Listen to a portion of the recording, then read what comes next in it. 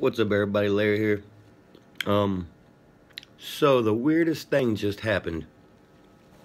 I am at work, the only person here, huge building, um, but it's the weekend, and I'm the only one at work.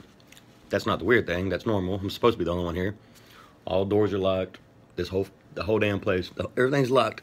I'm the only one here. Nobody can get in. So I go to the vending machine, buy me a Venom Energy.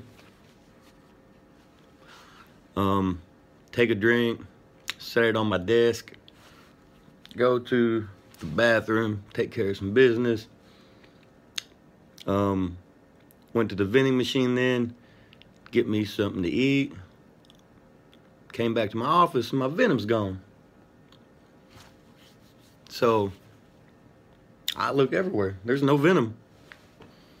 Uh, I've only been four places in this building today.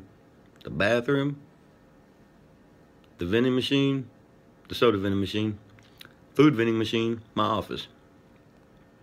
I've been to all four of them places about 10 times now and everywhere all around along the way and my drink is just gone.